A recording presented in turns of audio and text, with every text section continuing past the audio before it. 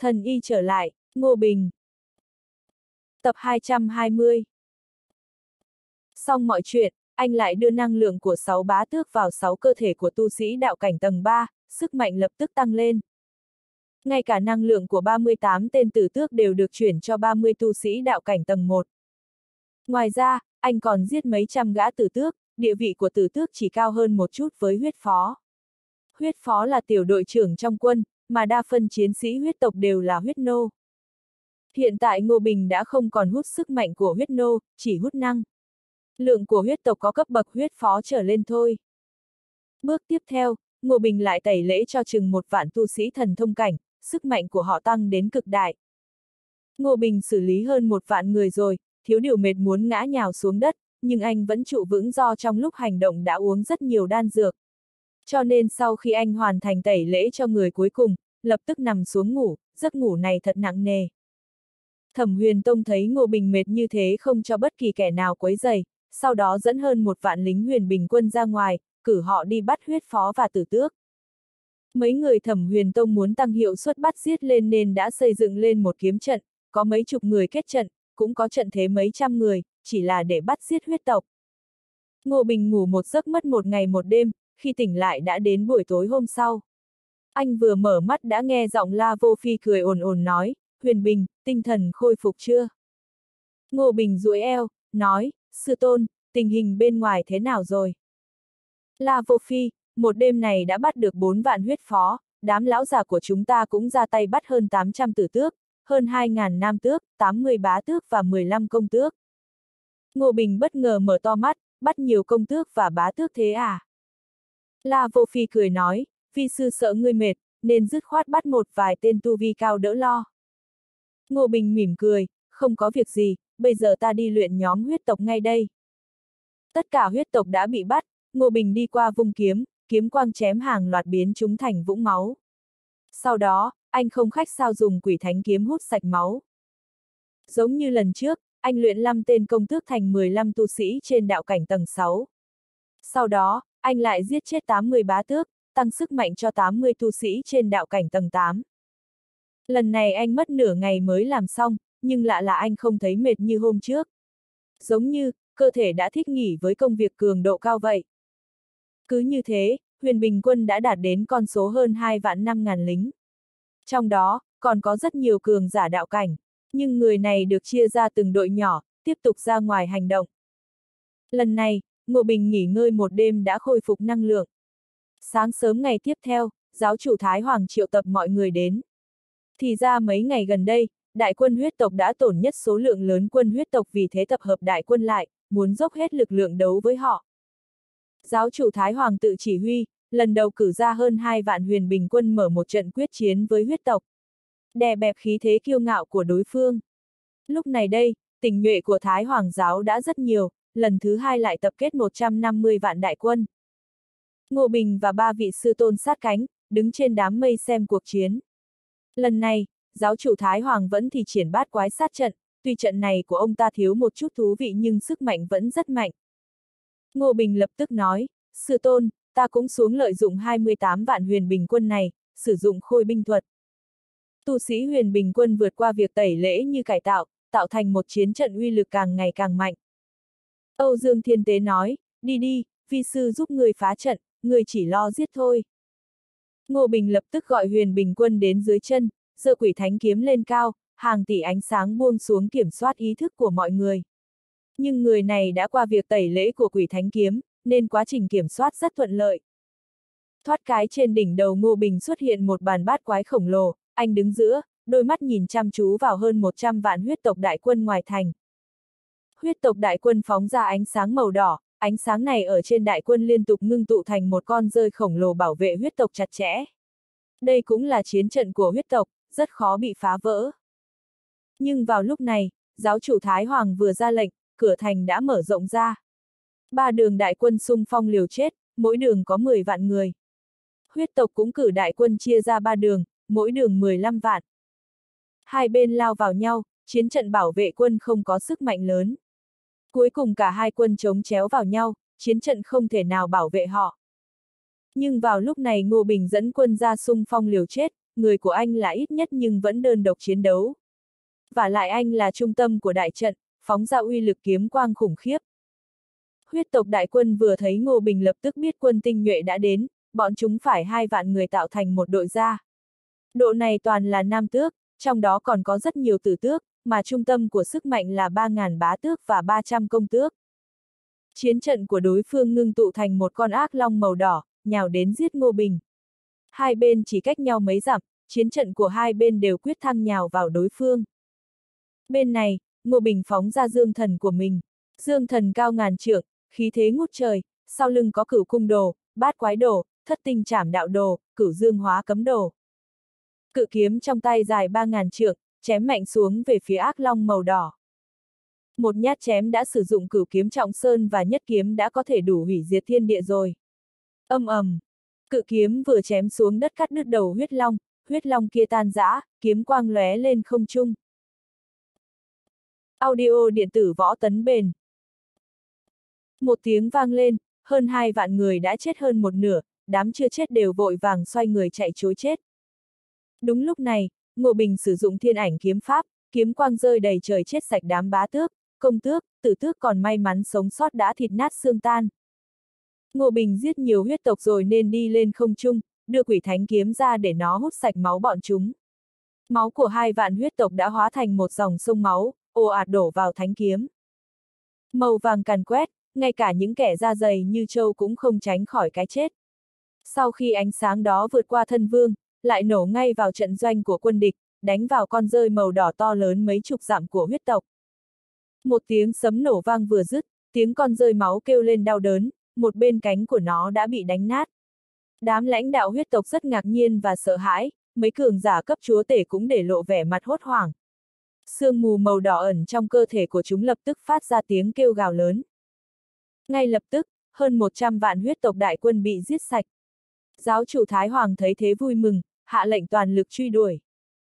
Huyết tộc muốn rút lui êm xuôi, để lại ba đường đại quân để cản quân địch. Dưới sự giúp đỡ của Ngô Bình, 45 vạn huyết tộc bị bao vây và diệt sạch ngay lập tức. Trận chiến này căng thẳng đến nửa ngày, giết đến mức máu chảy thành sông, xương tủy nằm la liệt khắp nơi. Ngô Bình vừa giết địch, vừa hút máu huyết tộc, cuối cùng, 47 vạn huyết tộc đại quân đều bị chảm. Bên này nhân tộc, cũng chỉ có hơn một vạn người chết và bị thương, trong đó người chết hơn 3.400 người. Trận chiến này, Thái Hoàng giáo giết tạo ra uy phong, vang danh thiên hạt. Tin tức truyền ra khiến cho các thế lực lớn nhân tộc xung quanh tiến đến chúc mừng, họ tỏ ý đồng ý xuất người và trợ lực, hợp tác cản huyết tộc. Mấy ngày tiếp theo, Ngô Bình đã sử dụng hết sức mạnh huyết tộc, lại tăng 15 vạn binh cho huyền bình quân, tăng sĩ số của huyền bình quân lên 18 vạn người. Sau 10 ngày, Ngô Bình đánh một giấc xong đã bị người ta mời đến đại điện bàn bạc.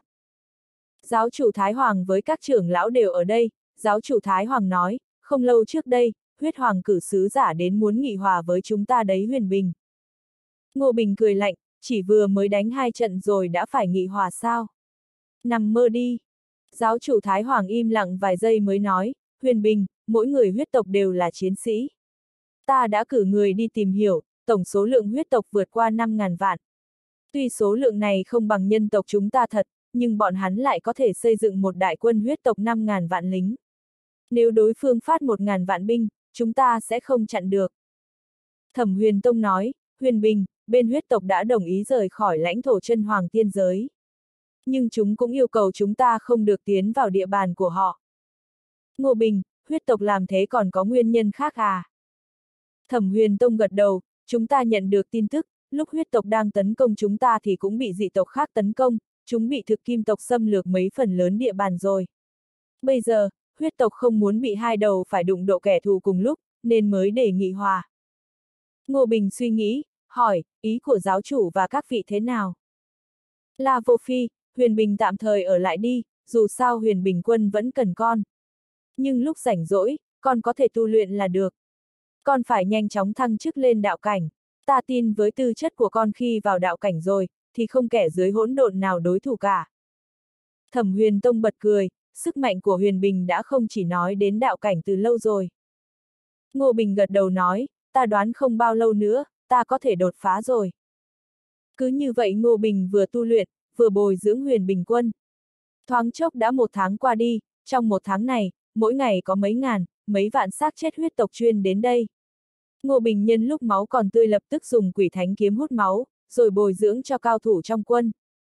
Những huyết tộc đưa đến này, yếu nhất cũng là nam tước, tử tước, số lượng rất ít. Nhưng cách một đoạn thời gian sẽ đưa đến một đám huyết phó, chỉ có cấp này có số lượng khá nhiều, ít nhất cũng hơn mấy vạn người. Một tháng này, số lượng huyền bình quân đã đạt đến 50 vạn, với lại trong đó có một bộ phận tu sĩ đã đạt cấp tương đương đạo cảnh, tu sĩ thần thông hậu kỳ. Mấy ngày liên tục tiêu thể lực, Ngô Bình cảm thấy bản thân cũng có thu hoạch tốt, hình như anh có thể thử thăng sâu vào cửu biến. Thì ra quỷ thánh kiếm cắn nuốt sức mạnh huyết tộc, cũng lấy ra được một ít năng lượng đặc biệt riêng. Năng lượng này có cực nhỏ trên mỗi một huyết tộc, nhưng khi mấy chục vạn lực lượng huyết tộc hội tụ lại sẽ tạo nên một vùng ánh sáng bạc. Anh cảm giác ánh sáng bạc này rất đặc biệt, giống như nó có thể giúp đỡ anh tiến hỏa. Nhưng mấy thứ này vẫn chưa đủ.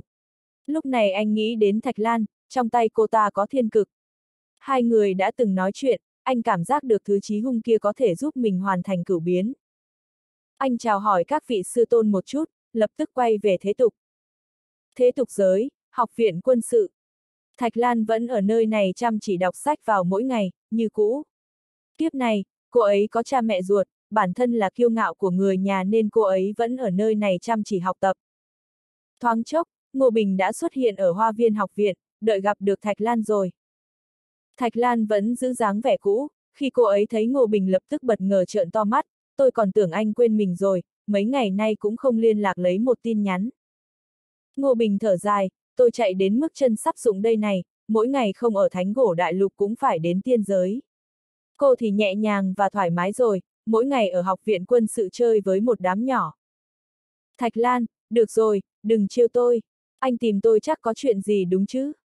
Ngô Bình gật nhẹ đầu, thiên giới xuất hiện lần nữa, bây giờ tiên giới đã mất biên giới, vô số dị tộc xuất hiện gây chiến khắp nơi. Thạch Lan lạnh nhạt nói, tôi cũng biết chuyện này. Ngô Bình, chúng ta đổi nơi nói chuyện. Thần Kinh, biệt thự ở đỉnh núi của Ngô Bình. Sau khi hai người đến đây, Ngô Bình mới nói, tôi muốn dùng một ít thiên cực, thử hoàn thành giai đoạn tu luyện khó nhất. Ngô Bình suy nghĩ nói, cô đến Thái Hoàng giáo với tôi đi. Cô không phải muốn bước vào thế lực lớn à? Thái Hoàng giáo cũng là lựa chọn khá tốt, giáo chủ Thái Hoàng cũng là cường giả hỗn độn. Thạch Lan cười, được, anh đợi tôi một chút, để tôi gọi điện cho người nhà thông bác. Thạch Lan rất quý trọng người thân kiếp này, cô ấy nhanh chóng gọi điện thoại cho mẹ mình, dùng vài câu mềm nhẹ khuyên rồi đi với Ngô Bình qua truyền tống trận, đến Thái Hoàng giáo. Trên một ngọn núi trong Thái Hoàng giáo, Thạch Lan nói, bây giờ tôi thả thiên cực ra, anh cần phải kiểm soát được nó trong vòng 10 phút. Nếu không, thiên cực có thể rơi vào tay cường giải. Ngô Bình gật đầu, được. Đôi tay Thạch Lan niết quyết, đạo anh của cô lập tức xuất hiện giữa không trung. Đạo anh vừa há mồm đã phun ra một binh khí hình kỳ lạ, nửa thân trước là hình tam lăng, nửa đoạn sau là cây gậy phóng ra hung khí ghê người. Thứ đó chính là thiên cực. Thiên cực vừa xuất hiện, bầu trời đã xuất hiện đầy tia chớp màu tím đen liên tục bổ vào thiên cực. Cùng lúc đó, vô số khí thức của thiên giới ồ ạt ập đến, khiến trời và mây đổi màu. Thạch Lan nói, nhanh lên. Ngô Bình lập tức thả dương thần của mình ra, dương thần cao hơn một vạn trượng, lập tức bắt thiên cực lại. dáng vẻ của bầu trời cũng mang theo khí thế ác độc ngập bầu trời, thiêu bàn tay Ngô Bình bốc khói loáng, tự động rung lên. Anh sử dụng sức mạnh cấm thiên, muốn kiểm soát hung vật này. Xèo xèo. Trên thiên cực bốc lên một sấm chớp màu tím, sức mạnh khủng bố hung thần kia nhanh chóng chui vào cơ thể của Ngô Bình. Sức mạnh này hủy diệt tất cả hết tất cả sự sống, khiến người ta vô cùng khó chịu. Ngô Bình cảm giác năng lượng này ẩn chứa một bộ phận sức mạnh cấm kỳ, và lại còn thuộc cấm kỳ tối cao trong thập nhị trọng cấm. Anh ngạc nhiên hét lên, cửu dương hóa cấm, ầm ầm. Anh sử dụng toàn sức mạnh của bản thân, cửu dương hóa cấm đổ xuất hiện sau lưng dương thần, kết hợp với sức mạnh cấm thiên liều mạng luyện hoát. Sức mạnh cấm thiên không nhỏ, lại phối hợp với thể chất bát biến của Ngô Bình. Lúc này mới có thể đè được hung khí của thiên cực. Sức mạnh cửu dương hóa cấm vận chuyển, cũng khiến cho hung khí thiên cực càng ngày càng yếu đi. Cuối cùng, nó dịu ngoan hơn và bị dương thần của Ngô Bình nuốt trọn và quay về bản thể. Quá trình này nói thì chậm, nhưng thật xảy ra chỉ trong vài giây. Lúc dương thân về, khí tức của thiên cực cũng biến mất. Những khí tức, khủng bố kia dần trở nên lang thang không mục đích, rất nhanh đã biến mất không thấy đâu. Sau khi dương thần nuốt thiên cực, Ngô Bình cảm giác nó vẫn liên tục phóng ra sức mạnh khủng bố như cũ. Nguồn lực lượng này, kích thích cho thần hồn trong cơ thể Ngô Bình tăng lên vô cùng lớn.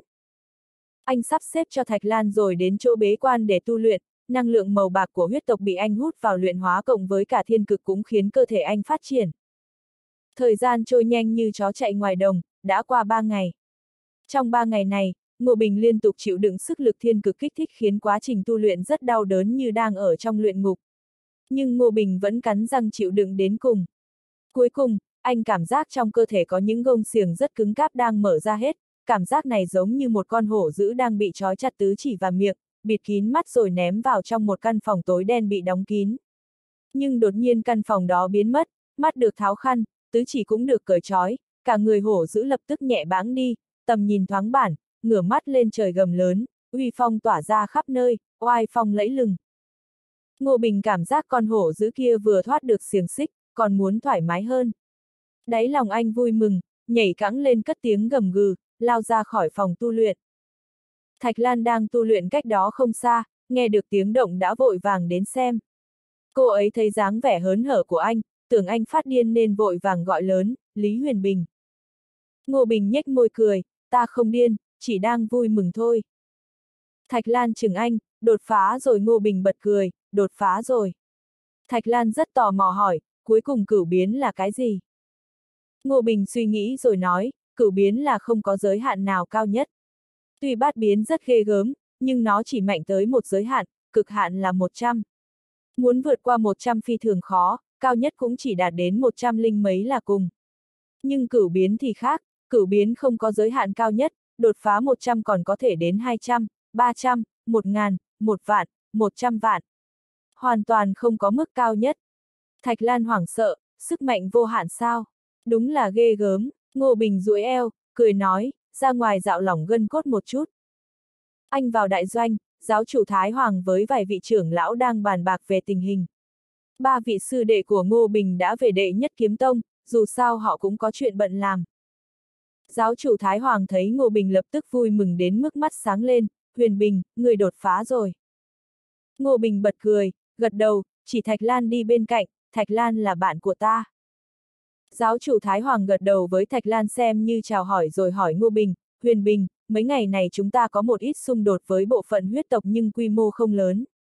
Nhưng huyết tộc tập kết trọng binh ở khoảng cách không xa với chúng ta, cho nên ta cử người điều tra phát hiện nơi đó có một khu khoáng sản. Ông ta nói xong lập tức lấy ra một bản đồ, chỉ vào một đỉnh núi phía tây bắc trên chân hoàng tiên giới, đó là một khu khoáng sản bạch hổ linh kim, khoáng sản này vô cùng quý hiếm, có thể tinh luyện ra bạch hổ linh kim, món duy nhất để chế tạo tiên binh pháp bảo và tiên tài. Trên thị trường hiện nay, sẽ mấy triệu tiền đại đạo mới mua một hay hai bạch hổ linh kim đấy. Ánh mắt của Ngô Bình sáng lên hỏi, địa bàn này thuộc về huyết tộc à? Giáo chủ Thái Hoàng, không lâu trước đâu mảnh đất này không có chủ, huyết tộc mới chiếm nơi này. Ngô Bình, thế giáo chủ đừng khách sáo với huyết tộc làm gì, cứ cướp tòa khoáng sản này đi. Giáo chủ Thái Hoàng gật đầu, người không ở đây nên ta không dám hành động. Xung quanh khoáng sản có 30 vạn đồn trú quân của huyết tộc, người dẫn huyền bình quân qua đó diệt bọn chúng đi. Ta thống lĩnh quân chủ lực, đến chặn viện quân của đối phương. Ngô Bình đồng ý với kế hoạch này, cười nói, được. Ta lập tức chuẩn bị. Hiện tại, cuộc chiến tranh đã nghiêng phần thắng hẳn về một bên. Ngô Bình chỉ mất một nửa giờ đã tiêu diệt 30 vạn huyết tộc đại quân, quỷ thánh kiếm cũng hút no máu tươi rồi. Bên trong 30 vạn huyết tộc đại quân còn có rất nhiều cao thủ bá tước, công tước, cũng bị giết sạch. Bên kia, huyết tộc đại quân phái ra 80 vạn đại quân tiếp viện nhưng bị giáo chủ Thái Hoàng dẫn đầu đại quân chặn lại, đang chém giết. Ngô Bình giết đại quân huyết tộc đang canh giữ khoáng sản, rồi dẫn binh về phía Bắc hợp binh với giáo chủ Thái Hoàng cùng đánh địch. 50 vạn đại quân của Ngô Bình gia nhập chiến đấu, đã khiến quân địch không đấu lại, mười mấy vạn xác chết la liệt trên sa trường. Trận chiến đại bại, nhân tộc diệt được địch, nhận được thắng lợi tuyệt đối. Sau đó Ngô Bình để lại 30 vạn huyền bình quân giữ mỏ vàng hang Bạch Hổ Linh, còn mình quay trở lại Thái Hoàng giáo tiếp tục bồi dưỡng huyền bình quân mới. Anh mất hai ngày đã tăng 10 vạn lính cho huyền bình quân, giúp số lượng quân huyền bình vượt qua 60 vạn. Ngày chiến đấu hôm sau, huyết tộc cử sứ giả đến, hai phe ký hiệp ước. Huyết tộc đồng ý từ bỏ khoáng sản, mà nhân tân cũng sẽ không tấn công vô cơ vào huyền tộc nữa. Đương nhiên, hiệp ước này cũng chẳng có bất kỳ sức mạnh nào. Ngô Bình quay về doanh trại ngày thứ ba, đã cảm thấy mình chuẩn bị hoàn hảo rồi nên chuẩn bị thăng sâu vào đạo cảnh tầng 1. Đạo cảnh nhất trọng còn có thể gọi là nhập đạo, cái này đơn giản là tự tìm một đại đạo pháp tắc phù hợp với bản thân để nghiên cứu, tìm hiểu và học được nội dung bên ngoài đại đạo. Sau đó khai sáng ra đạo thuật, nhưng tụ đạo thai sinh ra đạo anh. Nhập đạo nhất trọng là đơn giản nhất, cũng là bước khó nhất. Đối với một số người có thể điều chế ra thuốc để nhập đạo thành công, nhưng vài người khác thì có tu luyện cả đời cũng không thành công được.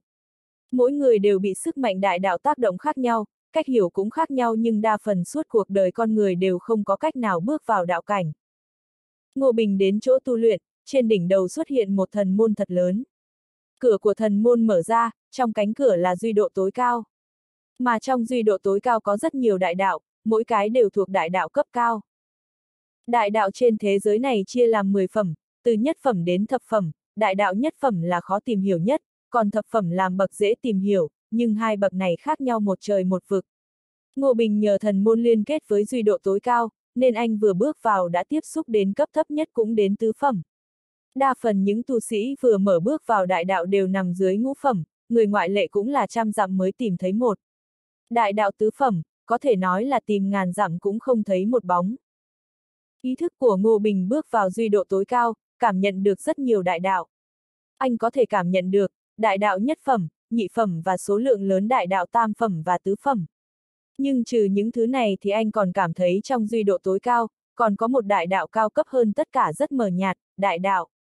Này có thể hưởng ứng với thiên phẩm pháp tắc mà anh đã tu luyện. Có nghĩa là là thiên phẩm pháp tắc được xuất phát từ đại đạo cao cấp này. Đại đạo này chắc là vô thượng đại đạo rồi, đại đạo trí tôn, thống lĩnh vạn đạo. Ánh mắt của Ngô Bình sáng lên. Từ trước đến giờ, anh dốc hết sức để tìm ấy vậy mà không chạm được đến. Nó khiến anh cảm giác như vô thượng đại đạo thật mờ ảo và xa vời giống như nó có mặt ở khắp nơi nhưng không hề tồn tại. Một giờ, hai giờ, một ngày. Mãi đến ngày hôm sau, Ngô Bình vẫn chẳng thu hoạch được gì. Tuy rằng anh có thể tìm hiểu đại đạo nhất phẩm, nhưng tâm lý vẫn không cam lòng. Vì thế anh rời khỏi tu luyện, đến doanh trại làm việc hai ngày. Lúc này Thạch Lan đã trở thành đệ tử tinh anh của Thái Hoàng giáo, đang bế quan trong động. Vì vậy anh quyết định đến Thánh Cổ Đại Lục thử một lần, có lẽ tu luyện nơi đó sẽ thu hoạch khác. Cùng ngày, anh đến Khôi Lỗi Tông, đặt con rối đào quảng. Mấy ngày nay, Khôi Lỗi Tông tăng tốc, thêm giờ để dốc hết sức chế tạo con rối đào quảng, đã chế tạo 5.500 con rồi. Ngô Bình không nói gì, dứt khoát lấy con rối đi đến Thánh Cổ Đại Lục trước. Thánh Cổ Đại Lục, quặng mỏ Hoàng Long tỉnh. Thợ mỏ khắp nơi đã bận rộn, Ngô Bình quan sát xung quanh rồi thả ra 10 con rối khai thác quặng rồi huấn luyện chúng làm việc. Con rối này đào hang cực kỳ nhanh, chỉ trăm 10 phút đã đào ra một cái quặng mỏ dài 100 mét, hơn gấm mấy trăm lần công nhân làm việc.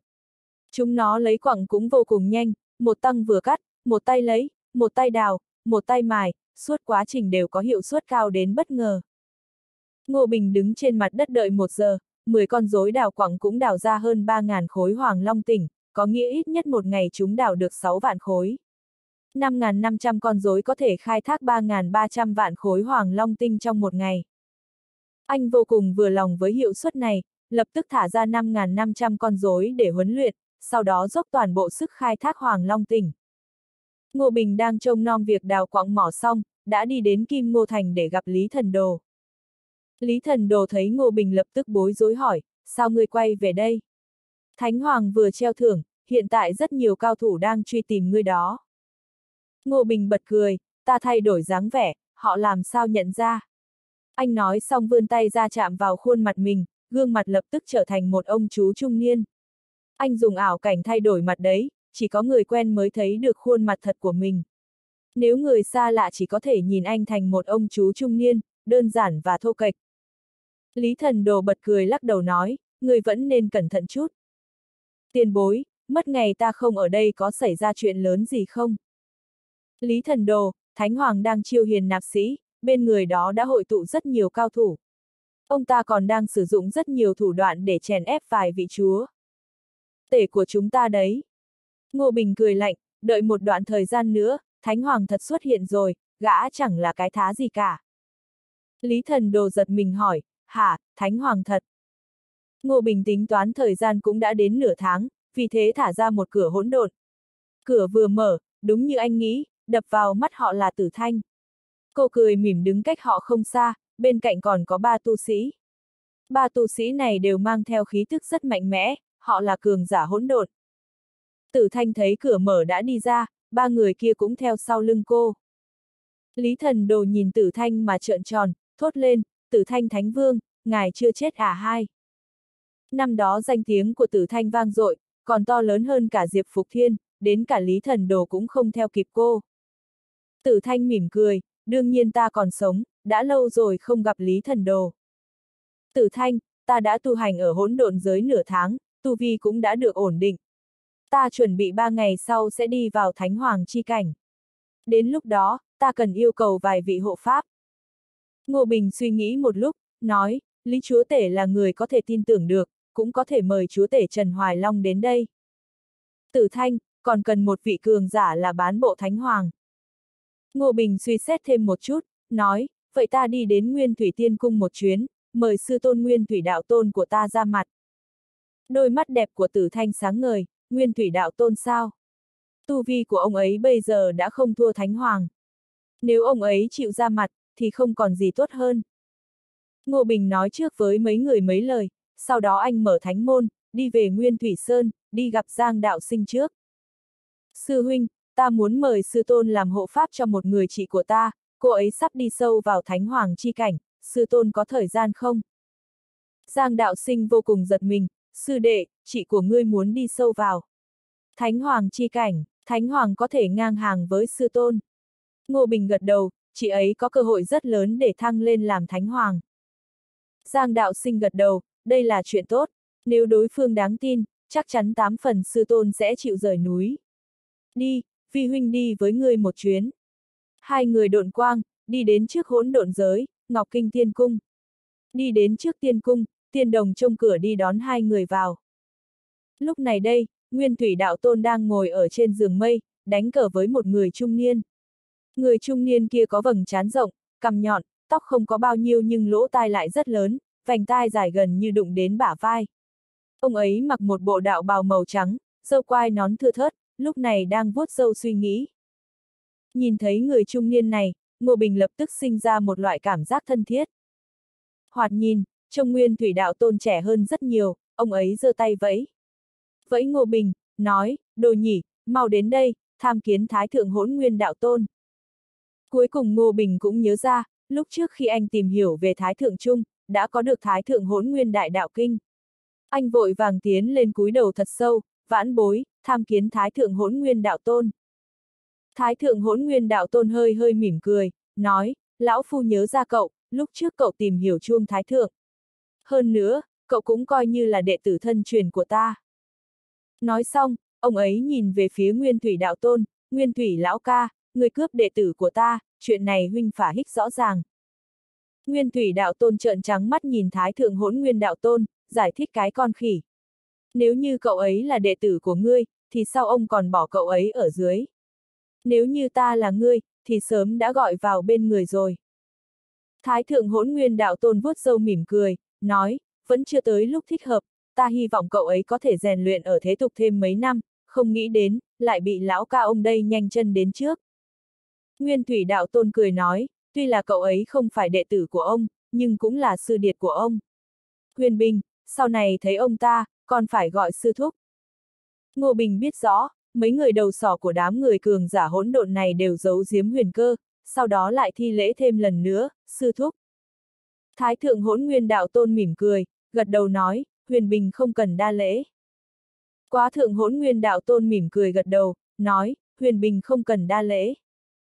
Ngô Bình vội vàng nói, đúng vậy sư tôn, Còn có một người chị, ba ngày sau sẽ đến thánh cổ đại lục, đi sâu vào thánh hoàng chi cảnh. Con muốn nhờ sư tôn hộ pháp giúp chị ấy. Nguyên thủy đạo tôn nở nụ cười, dáng vẻ vô cùng vui vẻ, không tồi, phu nhân của đệ tử ta thế mà lại là thánh hoàng, thú vị. Ngô Bình vô cùng xấu hổ, vội vàng nói, sư tôn, đó là chị của con. Nguyên thủy đạo tôn cười như không cười, nhìn anh, bây giờ không phải, nhưng về sau sẽ là như thế. Được, ta đồng ý chuyện này. Ba ngày sau, vi sư sẽ phái một hóa thân đi tìm con. Ngô Bình có hơi kinh ngạc, sư tôn, sư tôn không đi sao? Thái thượng hỗn nguyên đạo tôn cười nói, huyền bình, thánh gỗ đại lục và thiên giới, không có mấy thánh hoàng. Sư tôn của con tương đương với tu sĩ thánh hoàng, ông ấy không thể đi đến thánh cổ đại lục được. Cũng giống như thế, thánh hoàng ở thánh cổ đại lục cũng không thể tiến đến thiên giới. Ngô Bình cảm thấy rất kỳ quái, vì sao chứ? Đây là quy tắc, nếu muốn cường ngạnh vượt qua, sẽ bị đại đạo tiêu diệt. Thành cho bụi, hồi phi yên diệt. Nguyên thủy đạo tôn nói, thế nhưng, bán bộ thánh hoàng cũng đã đủ đệ hộ pháp. Ngô Bình cảm thấy đau đầu, nói, sư tôn, nếu lỡ như con trở thành thánh hoàng, vậy có phải sẽ không có cách nào để quay về thiên giới không? Nguyên thủy đạo tôn cười to ha ha, thế thì cũng chưa chắc.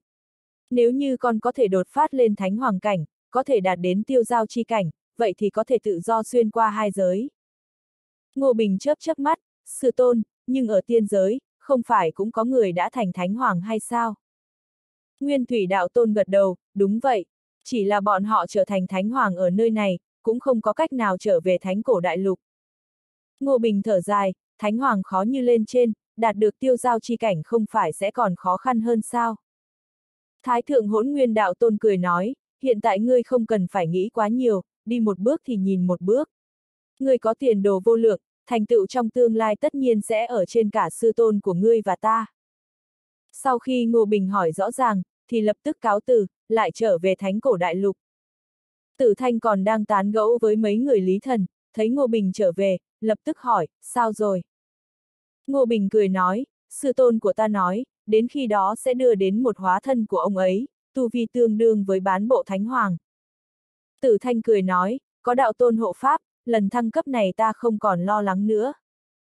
Ngô Bình cười nói, chị Tử Thanh, sư tôn của ta nói, sau khi trở thành thánh hoàng thì sẽ không thể trở lại thiên di. Tử Thanh gật đầu, đúng vậy, hoàng không thấy tôn, từ xưa nay đã như thế. Lý thần đồ, thánh vương Tử Thanh, mấy ngày nay nên chuẩn bị thật tốt. Dị tộc và thần tộc tất nhiên sẽ không hy vọng nhân tộc có thánh hoàng ra đời, ta cũng phải đi tìm vài vị lão bằng hữu hỗ trợ. Tử Thanh nói, đa tạ Lý Huynh. Sau đó, Ngô Bình lại đi đến gặp Trần Hoài Long, người này cũng đồng ý sau ba ngày sẽ đi hộ pháp cho Tử Thanh. Đây là đại sự của nhân tộc, Trần Hoài Long cũng bắt đầu triệu tập bằng hữu, cần phải đảm bảo để cho Tử Thanh an toàn thăng cấp. Thời gian ba ngày, cũng đã đủ để Ngô Bình thử nhập đạo. Anh đi đến một chỗ yên tĩnh, Dương Thần đi vào thần môn, cảm thụ vô thượng đại đạo ở chiều không gian tối cao nhất. Nhưng mà, lúc này anh vẫn cảm thấy không hề khác biệt lắm so với lúc ở thiên giới, vô thượng đại đạo kia có như không có, cẩn thận cảm nhận cũng không tìm thấy được dấu vết gì. Chẳng lẽ vốn dĩ không có khả năng tìm hiểu được vô thượng đại sao? Hay là thế gian này căn bản không hề có vô thượng đại đạo? Ngày đầu tiên, anh không thu hoạch được gì cả. Vô cùng buồn khổ, nghĩ thầm, dứt khoát lựa chọn mấy nhất phẩm đại đạo đi tu luyện, thật ra cũng không tồi. Sáng sớm, anh và Tử Thanh cùng nhau đi ăn sáng, mới vừa ăn được mấy miếng, Lý Thần Đồ cũng đến, mấy người bọn họ vừa ăn vừa trò chuyện. Lúc này đây, khi anh lại cảm thấy được vô thượng đại đạo, thì cảm thấy ở thiên giới có một luồng khí tức đại đạo vi diệu hội tụ đi vào trong cơ thể của anh, tiến vào tháp thiên mệnh ở thánh mạch. Khí tức đại đạo mờ ảo khó lường vần quanh tháp thiên mệnh một vòng, sau đó lại tiếp tục lao đến thánh mạch, lại tiến vào thiên kinh. Sau đó, từ thiên kinh đi vào trong từng nhanh một, cuối cùng xuyên qua thiên kinh nhỏ nhất, dung nhập vào trong mỗi tế bào bên trong cơ thể. Đồng thời, ở thánh cổ đại lục cũng có một luồng khí chất đối ứng với khí thức đại đạo, cũng hội tụ đi vào trong cơ thể của anh, chẳng qua, nơi nó tiến vào chính là cửu liên đài trong thánh mạch. Khí tức đại đạo đó nặng nề như trì, vần quanh cửu liên đài một lúc, sau đó lại tiếp tục lao đến thánh mạch, đi vào địa vĩ. Sau khi đến địa vĩ, thì đi vào từng nhành, cuối cùng cũng như cái kia, đi qua địa vĩ nhỏ nhất rồi hòa vào trong từng tế bào bên trong cơ thể. Ngay khi hai loại khí tức đại đạo huyền diệu, một cái thì mờ ảo, một cái thì nặng nề, một cái như trì, một cái lại là thủy ngân, cứ như vậy mà gặp nhau trong tế bào của Ngô Bình. ầm ầm, toàn thân Ngô Bình chân động, giữa hai luồng khí tức sinh ra tia chớp màu đỏ tía, giữa bọn chúng mơ hồ có một lực hút, đồng thời đó cũng có một lực đẩy. Anh không dám để cho bọn chúng tiếp xúc dễ dàng, chỉ dám từ từ thử từng chút. Anh cẩn thận thu luyện, cẩn thận suy đoán, cực kỳ cẩn thận, anh phải mất gần một ngày mới có thể ngưng tụ hai loại khí tức đại đạo này thành một nửa phù văn. Sau đó, bên trong các tế bào của Ngô Bình, một nửa phù văn này và một nửa phù văn kia dần dần tiếp xúc, càng ngày càng gần, cuối cùng thì va chạm. Âm, cả người Ngô Bình giật một cái, giống hệt như người bị điện giật. Hai nửa phù văn hình thành ra 10 cái phù văn, phóng xuất ra sức mạnh không thể nào tưởng tượng được, khủng bố đến cực độ. Ảo diệu đến cực điểm, vô cùng thần kỳ, không có ngôn ngữ nào có thể hình dung được nó, suy nghĩ cũng không thể nào hiểu được nó, thời không cũng không thể chứa được nó, nó vô hình vô chất, nhưng bây giờ lại được Ngô Bình tạo ra. Nếu như Ngô Bình không phải là kim thân cửu chuyển, nếu như anh không đạt đến cửu biến, nếu anh không có hỗn độn chi môn, nếu không có một câu của y mị, nếu như anh chưa từng đến thánh cổ đại lục, nếu như trước đây anh chưa từng có đủ loại kỳ ngộ. Tất cả những sự kiện trên cho dù một sự kiện nào không được xảy ra, thì anh đều không thể phát hiện ra được bí mật tối thượng này, đến đây tiếp xúc với vô thượng đại đạo. Ngô Bình hít sâu một hơi, cả người đều đang run rẩy, không biết là vì kích động hay là vì sợ hãi, lại cũng có thể là cả hai cái. Chắc là anh sợ hãi, dẫu sao anh đã lần lượt hấp thu một luồng khí tức đại đạo từ hai thế giới, vô cùng mong manh. Huống hồ, Ngô Bình lại còn phân tán một lượng năng lượng nhỏ như vậy vào trong 50.000 tỷ tế bào trong cơ. Thể, nói cách khác, khí tức đại đạo bên trong mỗi tế bào chỉ chiếm được một phần 50.000 tỷ của luồng khí tức đại đạo. Nhưng mà chỉ cần 10 cái phù văn được ngưng tụ từ khí tức đại đạo nhỏ bé như thế, cũng đã khiến cho Ngô Bình cảm nhận được sức mạnh khủng bố. Nếu như mỗi tế bào đều ngưng tụ thành phù văn đại đạo thì sao? Vậy thì sẽ có sức mạnh đáng sợ đến cỡ nào? Nếu anh hấp thu khoảng một phần vạn hay một phần trăm triệu luồng khí tức cổ đại đạo kia thì thế nào? Vậy thì đó sẽ là sức mạnh to lớn kinh thiên động địa cỡ nào? Ngô Bình không dám nghĩ, trong lòng của anh dâng lên cảm giác sợ hãi. Anh cũng đang kích động. Sức mạnh to lớn như vậy, giả như theo thời gian, theo sự tăng lên của tu vui, anh có thể siêu việt mà đại đến thánh hoàng cảnh, hỗn độn cảnh, bước đến cảnh giới vô thượng ảo diệu, đại đến đại tiêu giao. Ngô Bình nhanh chóng bình tĩnh cảm xúc lại. Lúc này đây, anh đã hoàn thiện 100 phù văn bên trong tế bào của cơ thể. Thân thể lại chấn động, khí thức mạnh mẽ gấp 10 lần so với lần trước xuất hiện, nhưng anh lại không cảm thấy khó chịu. Lần thứ ba, 1.000 tế bào. Lần thứ tư, 10.000 tế bào. Lần thứ năm, 100.000 tế bào. Cuối cùng, trong một tỷ tế bào bên trong cơ thể của Ngô Bình đồng thời ngưng tụ ra phù văn hoàn chỉnh. Cơ thể của anh hơi sáng lên, loại cảm giác chấn động đó đã không còn, ngược lại, lại vô cùng thoải mái. Tuy nhiên, đã qua đến ngày hôm sau, anh thu hồi hỗn độn chi môn, rời khỏi thần môn của bản thân mình. Vừa xuất quan, anh đã lập tức đi đến nghị sự điện. Không nghĩ đến, trong nghị sự điện đã ngồi đầy người, đại khái đếm sơ qua thì có đến mấy chục người. Trần Hoài Long, Lý Thần Đồ, Dược Lão, mấy người bọn họ ở đây đều là vì làm cường giả hộ pháp cho Thánh Vương Tử Thanh. Tử Thanh ngồi ở giữa, cô nói, em trai, bây giờ cậu thông báo cho Nguyên Thủy Đạo Tôn, nói bây giờ tôi muốn đột phá trước.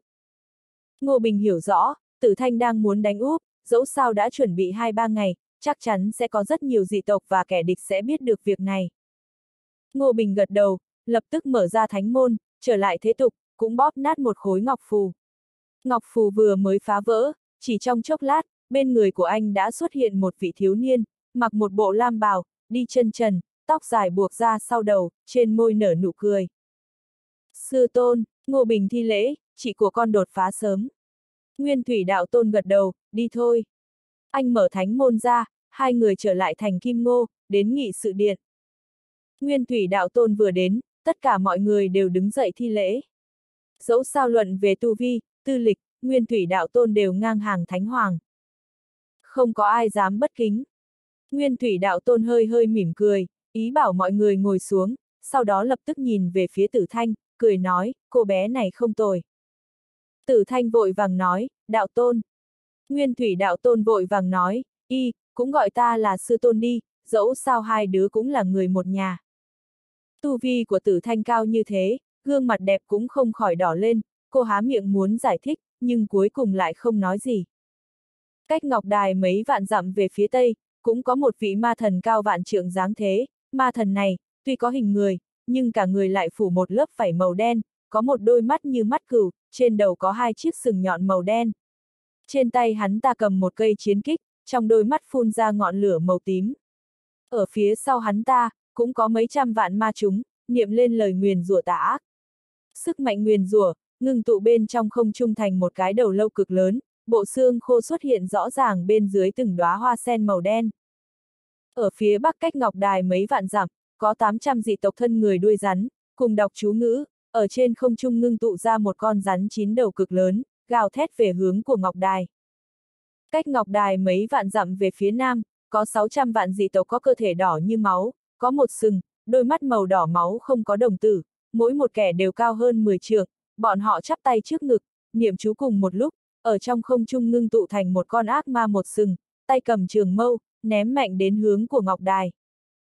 Cuối cùng, ở Đông Đô, nơi cách Ngọc Đài không quá xa, có một người đàn ông mặc đế phục đứng ở trên bầu trời, ở phía sau của hắn ta là 10 vị trọng thần trong triều. Người đàn ông mặc đế phục đó, chính là bán bộ Thánh Hoàng, Diệp Phục Thiên. Đôi mắt của Diệp Phục Thiên nhìn về hướng của Ngọc Đài, trong ánh mắt có hơi phức tạp. Lúc này đây, ở phía sau có một vị đại thánh đi ra, thấp giọng nói, bệ hạ. Cổ thần khuyển mông bày ra vẫn hồn đại trận ở phương Đông, nguyền rủa người thăng cấp. Ma thần nghịch kích đang kết thành lạc phách đại trận ở phương Tây, nguyền rủa người thăng cấp. Vị đại thánh thứ hai đứng ra, nói, bệ hạ. Dị tộc liễu xà đang ở phương Bắc, tập kết 800 vạn thuật sư, triệu hồi ra hung thú cự xà chín đầu, gây bất lợi với người thăng cấp. Dị tộc xích ma tại phương Nam tập kết 600 vạn ma pháp.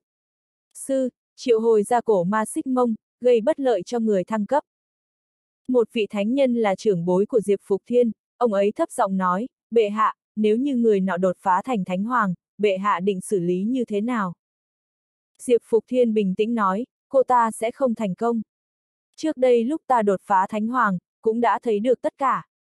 Thần tộc không cho phép, dị tộc không cho phép, trời đất này cũng không cho phép. Nếu như cô ta có khả năng thông thiên, cũng không có khả năng thành công. Vị thánh nhân này ngẩng ra, bệ hạ, hoàn toàn không có khả năng sao. Diệp Phục Thiên nhẹ thở dài, tuyệt đối không thể. Cái đạo môn kia đã đóng, không ai có thể mở ran. Lúc này đây, tử thanh ở phía trên ngọc đài, phóng ra hai thanh phi kiếm, một cái là tử điện, một cái là thanh xương. Hai cây kiếm bảo vệ trái phải, bên trên lại có khí thức cấm kỳ, đây chính là hai món pháp bảo cấm kỳ.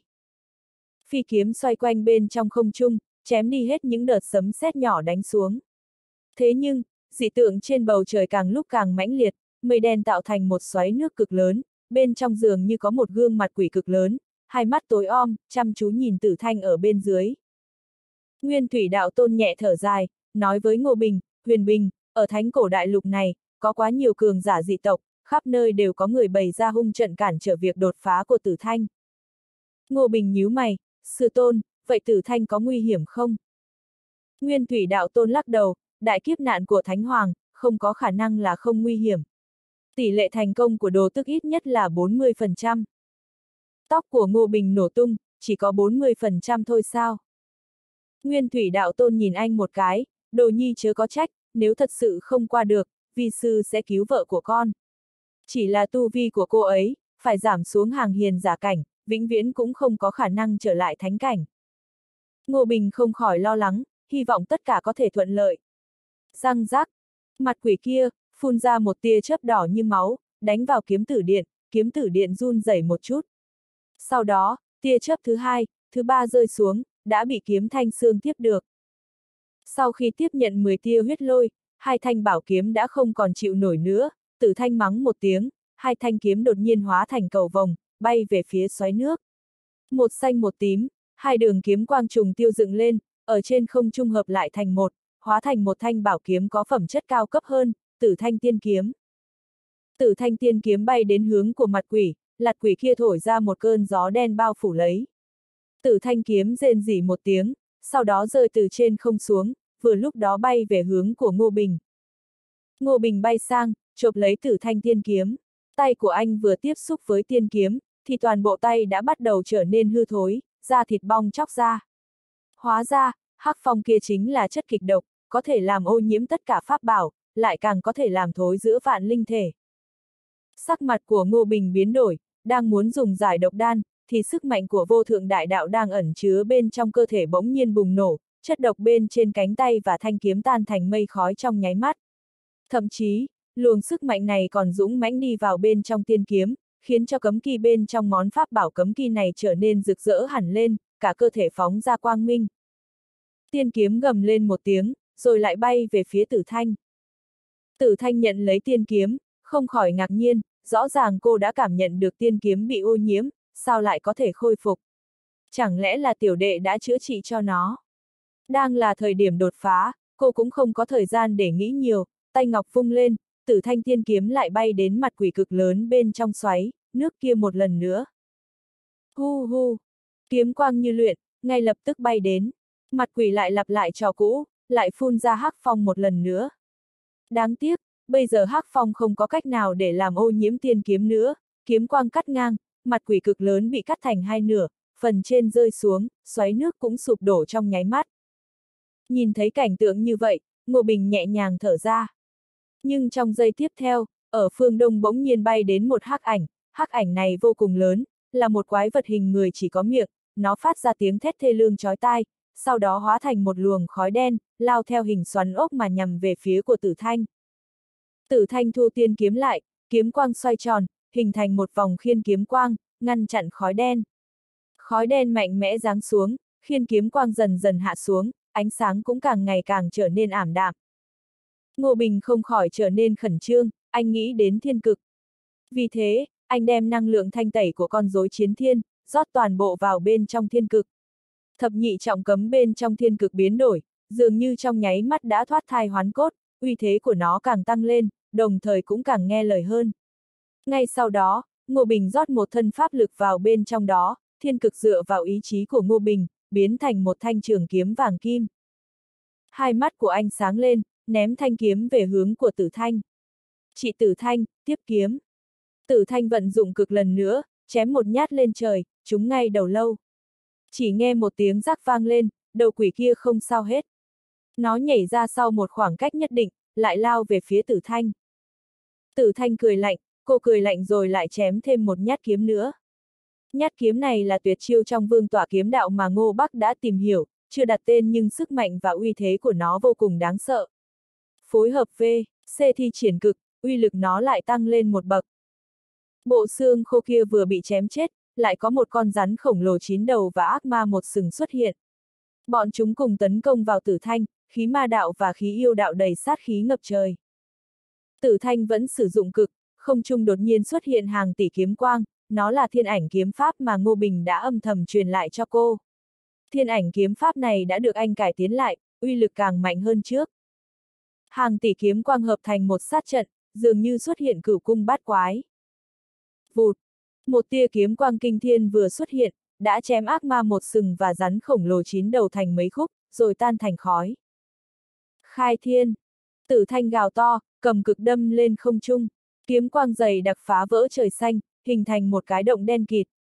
Trong động lớn này rơi xuống vô số sinh linh không biết tên, mà miệng cứ phát ra tiếng lào bào, không biết đang nguyền rủa hay chúc phúc. Đột nhiên cái động lớn màu đen kia mở to ra, để lộ một thứ bên trong. Đó là một cánh cửa to màu vàng, rộng 10 vạn trượng, cao 18 vạn trượng. Trên cửa có mấy chục nghìn tỷ ký hiệu rất huyền diệu, phóng ra khí thức mạnh mẽ khiến chúng sinh rơi vào tuyệt vọng. Sao lại thế này? Trần Hoài Long thấy cánh cửa này thầm hỏi, cái cửa này quá chắc chắn, dù Thánh Hoàng ra tay cũng không thể đánh mở nó ran. Tử Thanh nhìn thiên môn màu vàng, ký hiệu trên đó đều sáng lên, ánh sáng ngưng tụ thành hình 10 vạn thiên binh thiên tướng. Nhóm binh lính này phát ra tiếng hô, rồi đánh về hướng Tử Thanh. Lúc này ngay cả Tử Thanh cũng ngây ra, sao thiên môn lại chắc chắn như thế phải biết rằng, trở thành Thánh Hoàng phải mở thiên môn, chỉ cần đánh mở. Được thiên môn một khe hở nhỏ thôi, cô cũng có thể trở thành nửa thánh hoàng rồi. Trong lòng cô tuôn ra một chút tuyệt vọng, chẳng lẽ cô thất bại ở đây sao? Đột nhiên Ngô Bình đứng đẳng xa gào lên, chị Tử Thanh cố lên. Chị có thể làm được. Tử Thanh cắn răng, một lệnh bài xuất hiện trong tay cô. Lệnh bài này vừa xuất hiện ra phóng ra uy áp ngút trời của Thánh Hoàng, vô số ký hiệu thần thánh rơi xuống khỏi không trung, chúng rơi vào trên người tử thanh, ngưng tụ thành một bộ giáp màu vàng. Một bộ phận ký hiệu khác lại rơi vào trên thân thiên cực kiếm, giúp sức uy mãnh và hung ác của nó tăng lên gấp 3 lần. Cuối cùng những ký hiệu còn sót lại, ngưng tụ xung quanh tử thanh tạo thành một quả cầu phù trận, di chuyển nhanh chóng xoay tròn quanh cô. Tử thanh hóa thành một luồng ánh sáng, cô nắm chặt thiên cực kiếm trong tay, vọt thẳng đến thiên môn chắc chắn kia. Luồng ánh sáng này lấp lánh đến chói mặt, sắc bén đến vô hạn. Dầm! Một tiếng vang thật lớn, cực văn ra tung tóe, phù trận hình cầu bị vỡ mất, bộ giáp màu vàng cũng biến thành mảnh nhỏ. Tử thanh phun ra ngụm máu tiên ngã xuống ngọc đài như diều đứt dây. Đáy lòng của Ngô Bình rơi xuống đáy cốc, bay lên dưới ngọc đài. Nguyên thủy đạo tôn thở dài, lẩm bẩm, vẫn thất bại. Trần Hoài Long, Lý Thần Đồ cũng nhìn thấy cảnh này, sắc mặt của hai vị chúa tể cũng tối đi. Chẳng lẽ, nhân tộc không thể sinh ra thánh hoàng nữa sao? Ngô Bình đỡ được tử thanh, ôm cô vào ngực, gương mặt của tử thanh tái nhợt, đạo tắc trong cơ thể đã vỡ vụn hết, đạo mạch đứt gãy, thần hồn gần như đã hỏng sạch, làn da xuất hiện vết dạn rất nhỏ. Tử thanh mỉm cười, ta không ngờ nắm giữ được hoàng cực lệnh và cực trí bảo trong tay, được nhiều người giúp đỡ nhưng cuối cùng vẫn thất bại. Cánh cửa kia quá kiên cố, phải là người đạt đến thánh hoàng trung kỳ mới có thể mở ra, ta làm không được. Ngô Bình có thể cảm nhận được ngọn lửa tính mạng của tử thanh đang dần dần vụt tắt. Cô đã sử dụng toàn lực nên gây ảnh hưởng đến cơ thể quá nghiêm trọng.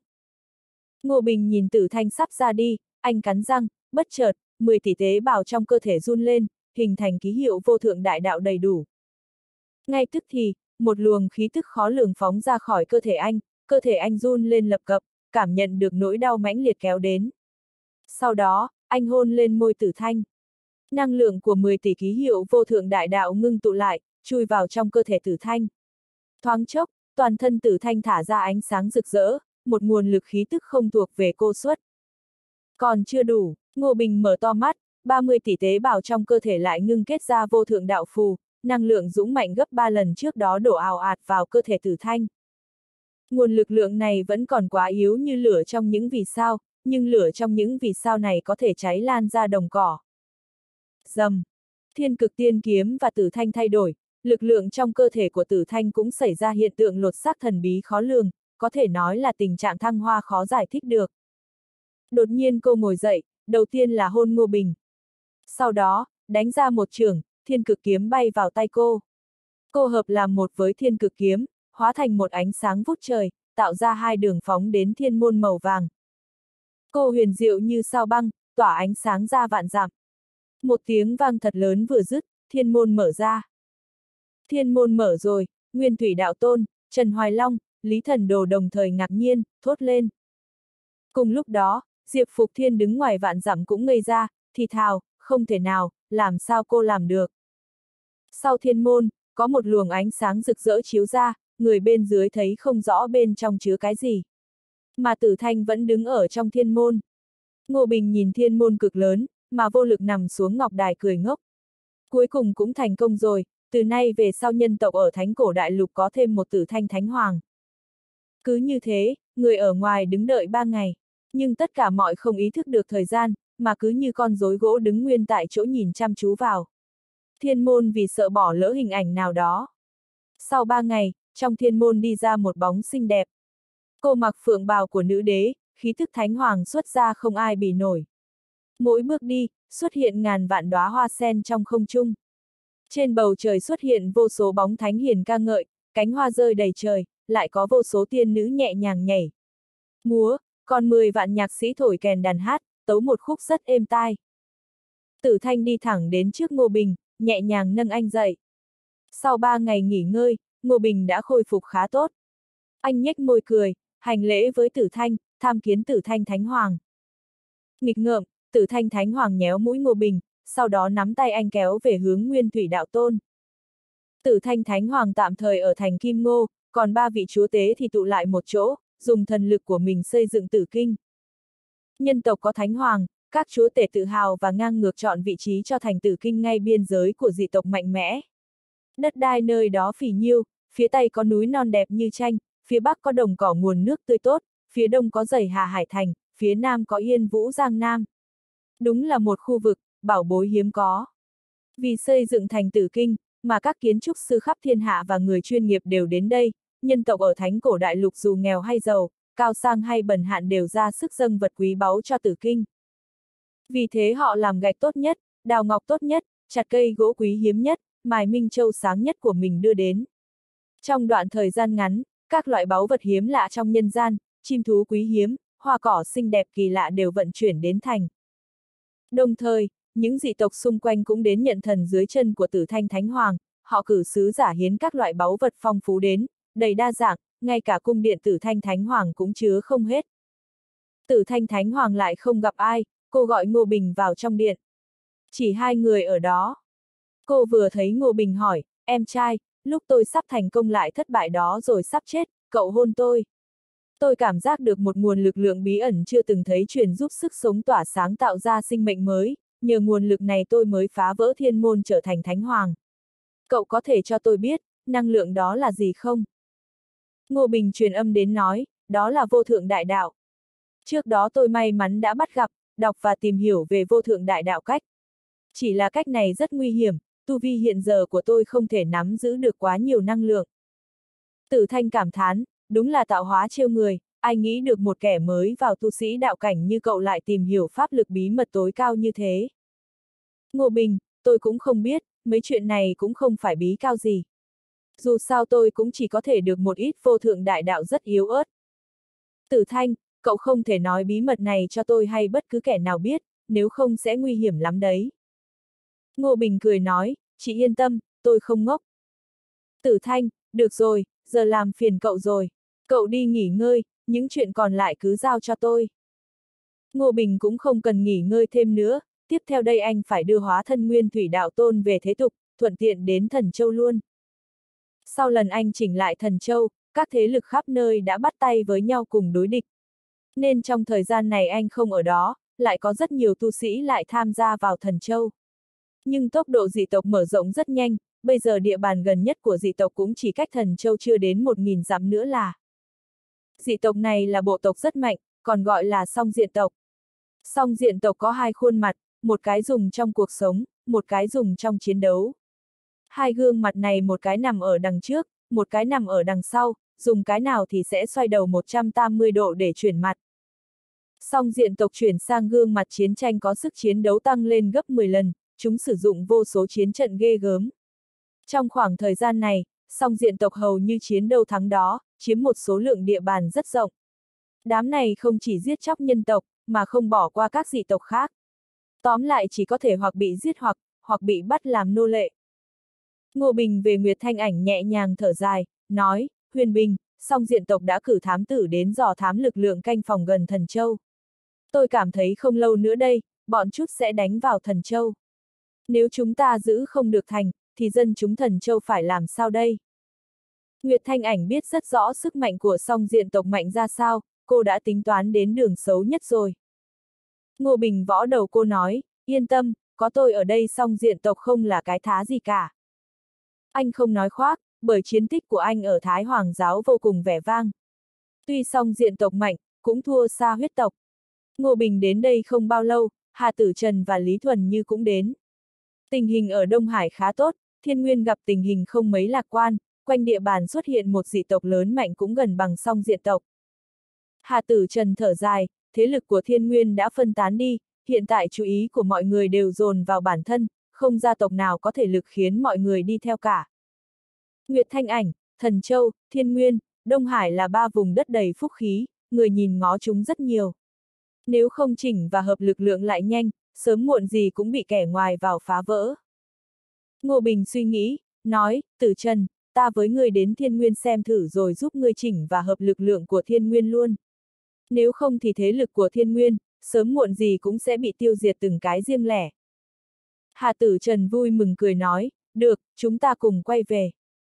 Lý Thuần Như, mặc dù bên Đông Hải không có dị tộc, nhưng phạm vi của nó không lớn chỉ hơn mấy trăm lần thôi, trên biển có rất nhiều sinh linh mạnh. Mấy hôm trước, có một đám hải yêu tấn công, giết rất nhiều đệ tử tiên kiếm môn của chúng ta. Ngô Bình gật đầu, đợi giải quyết chuyện thiên nguyên xong, ta đến Đông Hải xem sao. Theo kế hoạch, Ngô Bình sắp xếp thần châu một chút rồi đến thiên nguyên với Hà Tử Trần. Thế lực trên thiên nguyên là lớn nhất, trước mắt có ba nhà, thứ tự là Hà Gia, Lệ Gia, Thường Gia. Nhưng gần nhất cũng có rất nhiều tông môn trốn vào thiên nguyên vì những thực lực của tông môn này rất mạnh nên ba nhà không đánh lại, chỉ có thể hạn chế mà không xua đuổi. Ngô Bình đến không bao lâu, gia chủ Hà Gia Hà Chính Hạo đã đến cửa đón, đưa anh vào phòng khách. Sau vào câu tán gẫu, Ngô Bình hỏi tình hình trên địa bàn Hà Gia.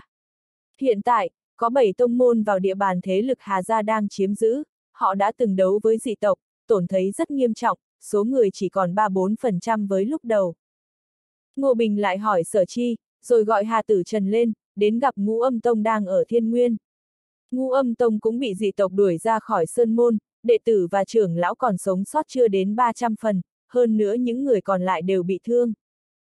Ngu âm tông chiếm một ngọn núi ngoài thành, xây dựng các tòa nhà giản dị để ở, dưới núi có vài đệ tử trông coi.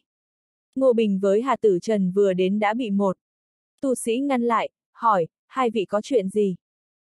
Ngô Bình, gọi tông chủ của các ngươi ra gặp ta. Tu sĩ này dò xét Ngô Bình một lúc, hỏi, các hạ là. Hà Tử Trần, vị này là đệ tử Nguyên Thủy Đạo Tôn, đứng thứ ba trong đại thiên bảng, Lý Công Tử. Tu sĩ kia lắp bắp sợ hãi, hắn ta nghe nói Nguyên Thủy Đạo Tôn là người mạnh nhất trong những người mạnh ở nhân tộc. Hắn ta vội vàng nói, xin chờ một chút, tại hạ sẽ đi thông báo ngay.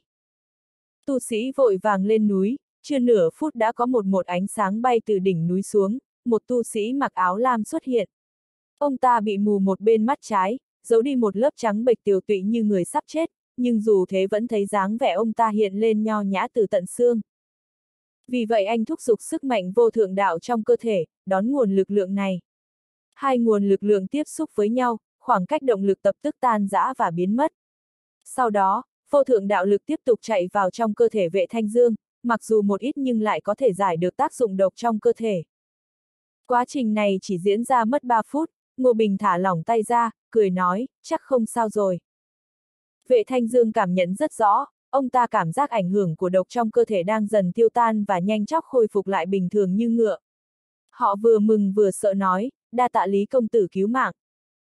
Ngô Bình cười nói, chuyện nhỏ, à vị bên cạnh ta chính là thiên kim Hà Gia Hà Tử Trần. Chúng ta đến đây là muốn bàn bạc với vệ tông chủ hợp tác để đối phó với dị tộc. Vệ Thanh Dương vội vàng nói, nếu công tử với Hà Gia tìm cái gì hữu dụng, cứ mở miệng với ta. Vì thế Ngô Bình nói hết kinh nghiệm ở Thần Châu rồi nói, vệ tông chủ, tiếp theo đây dị tộc có thể xâm lược thiên nguyên. Nếu người thiên nguyên không bắt tay với nhau, cũng sẽ bị diệt từng bộ phận. Lúc đó, tất cả mọi người sẽ bị chết và thương vô số, cuối cùng không có nhà để về.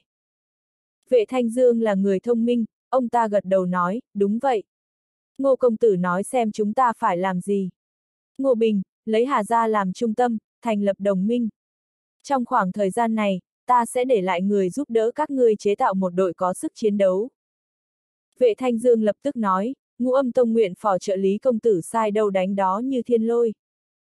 Cứ như vậy, Ngô Bình đơn giản có được sự phò trợ của ngũ âm tông. Sau đó, anh lại đến ba tông khác, có thể nói thân phận đệ tử Nguyên Thủy Đạo Tôn cho. Anh ánh hào quang, năm tông còn lại cũng đồng ý hợp tác. Dù sao cũng đã như vậy, họ cũng không muốn bị dị tộc đuổi khỏi thiên nguyên.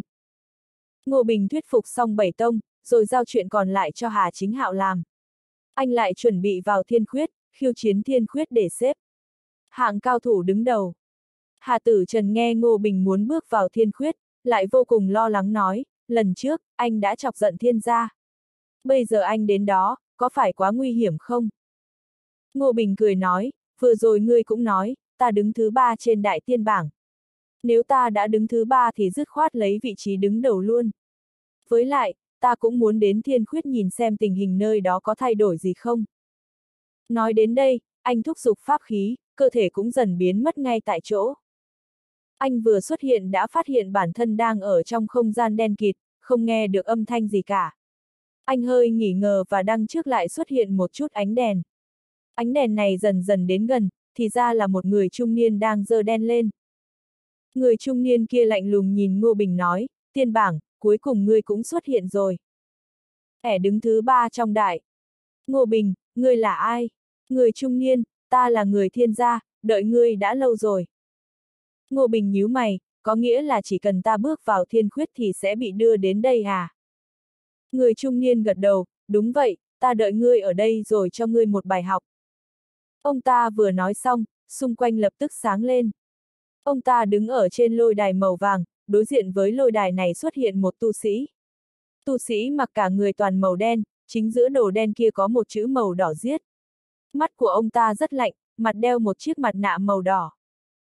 Ngô Bình nhướng mày, thiên gia chuẩn bị dùng phế vật này giết ta sao? Người nói đây là phế vật hả? Người trung niên cười lạnh, nhưng đây là cao. Thủ đại đạo cảnh tầng 8, kẻ đứng đầu đại tiên bảng không chịu nổi một chiêu đấy ngươi còn dám nói đối phương là phế vật. Tu sĩ đồ đen đột một bước ra, nổ ra một nguồn sát khí bao trùm cả lôi đài. Trong sát khí có một chút ánh sáng lạnh mở rộng, thoát cái nó chôn vùi sát khí. Ngay sau đó, người áo đen kia lập tức biến thành một đám xương máu. Người trung niên ngây ra, thốt lên, không thể nào. Làm sao ngươi có thể? Ngô Bình bình tĩnh nhìn người trung niên hỏi, làm sao thể tham gia đại tiên bảng? Thoáng chốc, người trung niên ngập tràn kinh sợ rồi nói, người còn muốn tiến vào đại tiên bảng à? Hừ, người đã đến nơi này rồi, dù có năng lực thông thiên cũng không thể nào mở được. Dứt lời người trung niên biến mất tại chỗ, mà xung quanh anh xuất hiện một màn khói độc xanh biếc. Chất độc trong này nhanh chóng bay đến chỗ Ngô Bình. Ngô Bình nheo đôi mắt lại, lạnh lùng nói, người muốn dùng cái nơi vớ vẩn này giữ chân ta ở đây. Ngây thơi.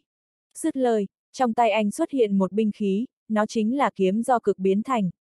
Sau đó, anh chém một nhát kiếm sử dụng chiêu 13 trong trảm đạo thập tam kiếm. Nhát kiếm vừa chém ra, lập tức có 13 thanh kiếm bay lơ lửng trên không trung xuất hiện đằng sau lưng anh. Răng rác, một luồng ánh sáng kiếm sắc bén chém về đằng xa lập tức phá vỡ không trung, cắt ra một vết nứt màu đen cực lớn. Ngô Bình lập tức xông ra ngoài, sau đó hai mắt tỏa sáng vừa xuất hiện trước mắt anh là một tòa cung điện màu đen. Cung điện màu đen bị anh chém thành hai nửa, sau đó đều vỡ vụn rồi sụp ầm ầm. Ngô Bình tò mò dò xét khắp nơi, nơi này nồng động khí tức hỗn độn chắc là hỗn độn giới. Nhưng vào lúc này, tên thiên công tử kia dẫn theo vài tên cấp dưới xuất hiện. Hắn ta thấy cung điện bị sụp đổ, lập tức lộ ra cảm xúc đầy bất ngờ. Ngô Bình vẫy tay với hắn ta, ta ở đây. Thiên công tử thét lên như gặp phải quỷ, sao ngươi ra đây được? Phải biết rằng cung điện chấn giết Ngô Bình, có tên là Sâm La Sát Điện được cường giả hỗn độn tự chế tạo ra, bên trong đó có dấu 9981 sát trận, dù là cường giả hỗn độn cũng sẽ chết bên trong. Nhưng mà, sao anh có thể thoát ra được? Ngô Bình, đến đây. Thiên công tử nhìn chăm chú vào Ngô Bình rồi gần từng chữ, không ngờ ngươi thể phá vỡ được Sâm xa Sát Điện, ta đã xem thường ngươi quá rồi. Ngô Bình bình thản nói, ban đầu, người đã lệnh cho người của mình động tay động chân vào truyền tống phủ của ta từ sớm rồi. Vậy nên, khi ta vừa vào thiên khuyết đã truyền tống ta đến xâm xa sát điện đầu tiên. Như thế ngươi có thể giết ta, xả giận mấy năm qua. Ta nói đúng chứ? Thiên công tử hừ lạnh, xem như mạng ngươi lớn. Ngươi có thể chạy thoát khỏi xâm xa sát điện chắc chắn, ngươi có mang theo pháp bảo cực kỳ ghê gớm. Ngô Bình gật đầu, người đoán đúng rồi, ta có cái này. Thiên cực của anh lộ ra, chỉ vào thiên công tử. Một luồng thần khí hung dữ hóa thành sấm chấp màu đen tím, đánh vào cơ thể thiên công tử. Tốc độ của sấm chấp đó quá nhanh khiến thiên công tử và người bên cạnh hắn ta không trở tay kịp, sấm chấp màu tím cũng đánh chúng vào. Thiên công tử, hắn ta há to miệng, đến con mắt, lỗ tai, miệng, lỗ mũi đều chảy ra ánh sáng màu tím đen. Sau một giây, cả cơ thể hắn ta lập tức nổ oanh một tiếng, hóa thành một màn xương máu. Một cơn gió thổi qua, quét sạch tất cả mọi thứ trừ chiếc nhãn chữ vật. Ngươi giết thiên công tử. Ngô Bình ừ một tiếng, rồi nói, ta vào đó một chuyến. Trong đó có một người bật cư, ông tử, lão gia nói ngài chỉ có thể chọn một thứ cho mỗi lần, ngài đừng làm đám tiểu nhân khó xử. Thiên công tử đã chết ngoài ngàn dặm, hơn nữa dấu vết ở hiện trường đã bị Ngô Bình thanh lý rồi. Cho nên, hiện tại không ai biết được tin tức bọn người thiên công tử đã chết. Một đại đám cao thủ đạo cảnh tầng 8, tự xưng là tiểu nhân ở trước mặt thiên công tử. Ngô Bình âm thầm lắc đầu, nói, biết rồi. Anh nói xong, vươn tay đẩy cửa ra. Tay của anh vừa tiếp xúc với cửa chính, lập tức cảm nhận được một luồng lực đánh ngược lại. Xem ra, cửa này có một loại mật mã gì đó. Lúc này, anh sử dụng sức mạnh vô thượng đạo đánh vào trong cửa. Cấm chế trên cửa chính lập tức bị mất tác dụng, anh thoải mái đẩy cửa chính ra. Quá trình này chỉ diễn ra trong đoạn thời gian ngắn, bốn tên thị vệ cũng không phát hiện khác lạ. Cả thiên gia chỉ có bảy người nam giữ chìa cửa chính kho trời, thiên công tử là một người trong đó. Nếu như không có bảy người này, thì không cách nào đánh mở cửa chính được. Nhưng bọn hắn không thể nào nghĩ được, Ngô Bình có được sức mạnh vô thượng đại đạo, dù là pháp trận, cấm chế gì cũng chẳng là gì trước mặt nó. Ngô Bình bước vào đại điện, thuận tay đóng cửa lại. Bên trong có 100 tấm bảng đang lơ lửng, mỗi bảng đều viết một ít con số. Ví dụ, có bảng ghi khí cửu, có cái ghi tài ngũ, có cái khác lại ghi binh lục. Ngô Bình đoán những bảng này, đại biểu vài vị trí.